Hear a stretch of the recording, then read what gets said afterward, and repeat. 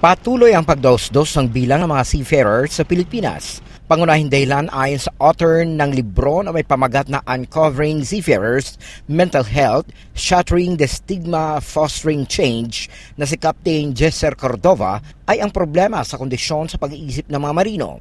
There's a fall of deployment of around 105,000 Filipino seafarers.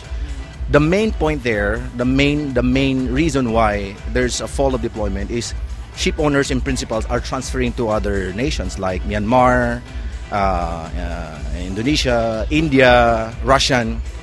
It's because they see a problem with the Filipino seafarers. Right now, Filipino seafarers are expensive.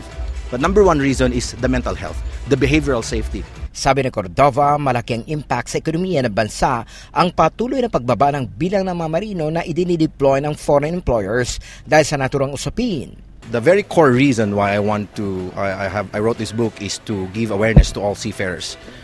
Right now as well, it may affect uh, our nation's economy. It will affect the number of uh, Filipino seafarers uh, deployment. Right now, there's a cut of deployment. There's a fall of, of, of deployment for Filipino seafarers. So it's critical. It's really critical.